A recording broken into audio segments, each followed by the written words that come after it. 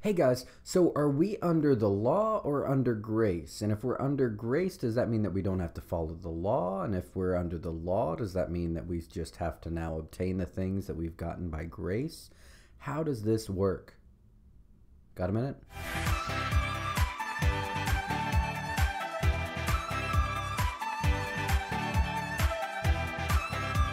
We see Paul and many others in the New Testament trying to divide out and help people understand this very same concept. So, Paul wrote this to the Galatians. So, the law was put in charge to lead us to Christ that we might be justified by faith.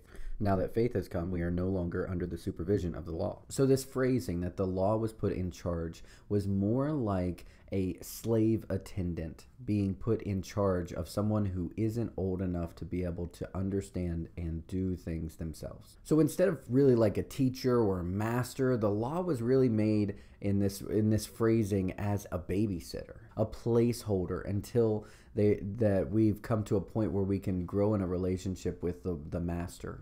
And we see that in the second verse where it talks about we're no longer under the supervision of the law, but we are now under faith. We now have a relationship directly with the Father. The law or a slave attendant wouldn't have a relationship with the master, it would only know the rules and the hard lines that the master makes. The slave attendant hasn't spent time trying to understand the heart and the, the meaning behind things because that's not their job. Their job is to do what they're told, which is the way we see the law do what you're told now that we are no longer under the law because we have faith in Jesus, we can have a relationship with God and we can understand the heart behind the things that he says. That's why Jesus says he didn't come to wipe away the law because the law is still good, but now we can understand the deeper meaning behind it. Jesus was mad at the Pharisees many times over because the Pharisees put the law and put the uh, traditions that they had above the heart behind it and what God's heart was for the people. And with the Pharisees being the ambassadors and being the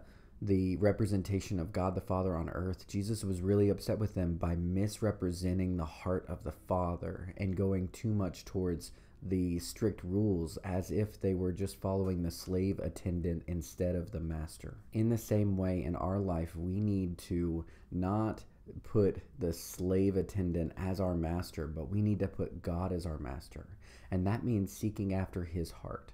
David is described as a man after God's own heart, and because of that, he was able to enter into things that David shouldn't have. In the same way, under this new covenant, our job is to go after God's heart and to understand why things are put together. So look at your own Christian walk. Do you relate more to the slave attendant you know, the, the law that, that makes things rigid?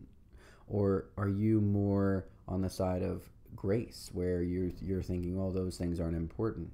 Whenever the reality is that we have to find ourselves the way to the middle, the middle where we can find that, you know, the law hasn't been put away, right? We're not, we're not done with it but we can find the heart behind it and we can be able to seek after God in our own life. All these things will point us to God if we're open to it.